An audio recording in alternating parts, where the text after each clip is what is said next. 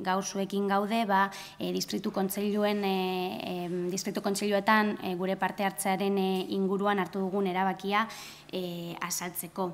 E, parte hartzea ostopatzen jarraitzen duen distritu kontseiluen araudi berri honen aurrean, e, bi udal talde hauek, EH Bildu Bilbo eta Udalberri Hilbaen Komun, e, udal taldeok distritu kontseiluetan, e, distritu kontseiluen bilkuretara joateari utziko diogu. Gure distritu kontseilariak batxorde tekniko eta soziokulturaletara soilik joango dira hemendik aurrera.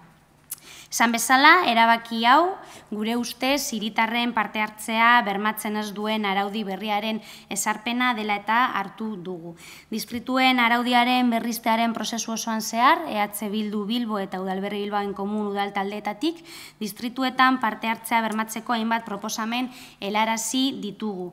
Bi udal taldeek eginiko proposamenek eta bai e, e, aurkeztutako e, mila laureun e, alegazioek udal gobernuaren eseskoa jaso dute. Gauza korrela, Gogarazi beharra dago, araudia aprobatu zen osoko bilkuran, bi udal talde hauek, bai atxibildu bilbo eta bai udalberri hilbaen komun, udal batza utzi genuela gure esadostasuna adieraziz.